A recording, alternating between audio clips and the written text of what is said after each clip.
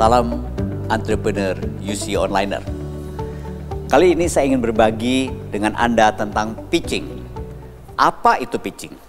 Pitching adalah presentasi yang pendek, kreatif, dan menarik untuk para investor. Jadi, tujuannya untuk membuat investor tertarik berinvestasi di bisnis Anda.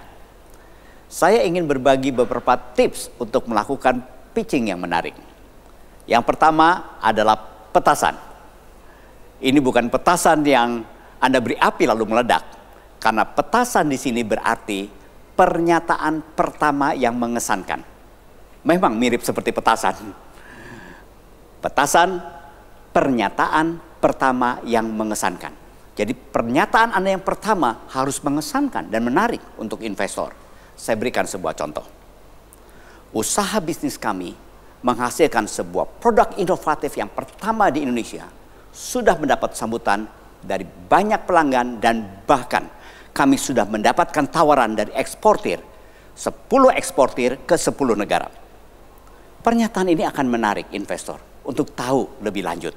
Sehingga informasi yang kedua yang perlu Anda berikan adalah informasi tentang pelanggan apa hal yang penting yang perlu Anda ceritakan tentang pelanggan? Pertama adalah seberapa besar pelanggan mau ingin bertransaksi dengan Anda. Seberapa besar minatnya. Dan yang kedua, berapa banyak. Jadi tentang pelanggan, seberapa besar minatnya dan berapa banyak. Yang ketiga, kemukakan. Kenapa pelanggan mau bertransaksi dengan Anda? Pasti ada masalah pelanggan ceritakan masalah pelanggan itu dan ceritakan solusi kreatif Anda. Ceritakan bagaimana solusi kreatif Anda membuat pelanggan tidak bisa bilang tidak. Masalah pelanggan apa? Apa solusi kreatifnya? Dan apa yang menyebabkan pelanggan tidak bisa bilang tidak? Itu yang ketiga. Yang keempat, tampilkan juga angka-angka. Jangan lupa, angka akan meyakinkan.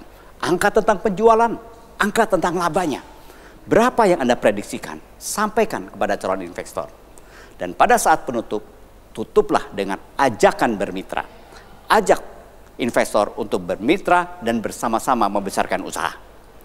Yang terakhir dari saya, kembali jangan lupa gunakan kata-kata yang jelas, padat, menarik, dan gunakan intonasi bahasa tubuh. Silahkan mencoba.